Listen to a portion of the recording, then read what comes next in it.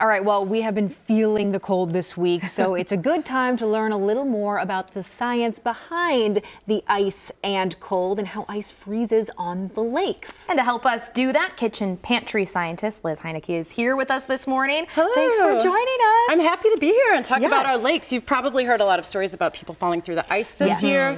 Um, according to the DNR, like this, we have like 10 to 12 fewer ice days now than we had 50 years ago. Oh.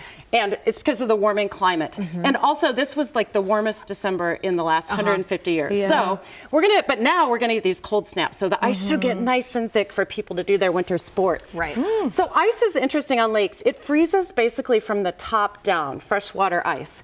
So I kind of demonstrated this. Kids can do this at home. I just put some like peat moss, you could use dirt or anything, Yeah. in a Tupperware. And in here, I just put some water and blue food coloring, set it out on my porch. It's gonna be mm-hmm. really cold again next week. You can do all these projects.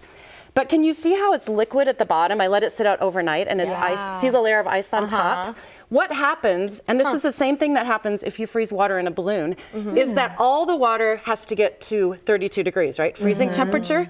And then the water that's closest to the surface, closest to the cold air, will start to freeze first and it freezes down. Mm. So you can do this. You can oh. also, this is super fun for kids. Just fill balloons up with water. You can add a little food coloring if you don't mind getting messy. Oh. Put them out on the porch or out in your backyard. I do it on a cookie sheet usually.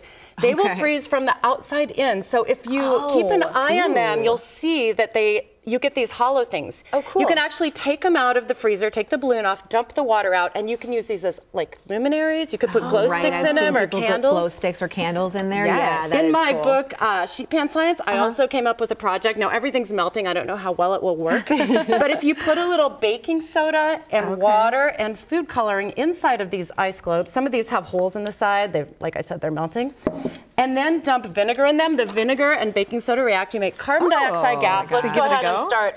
Let's see if we can get some of these. I'll do the Whichever one you want. Okay, That let's one has a hole in the side. So. Okay. Okay. All of Oh, it? they all have holes in the side. Let's I mean, see. it's it's not freezing here in the studio. I know, which thankfully. we're thankful for. Okay, Yeah. if you Let's do see. this, if you do this This right one looks good. away, Let me see if I can get this one going. and they don't have holes in them, they will actually. There, there's There one we that's go. working. Ooh, Overflow yellow's over the top. working. one of one of eight works, so that's There we cool. go. Oh, that's amazing. It's a great way kids can do the volcano reaction.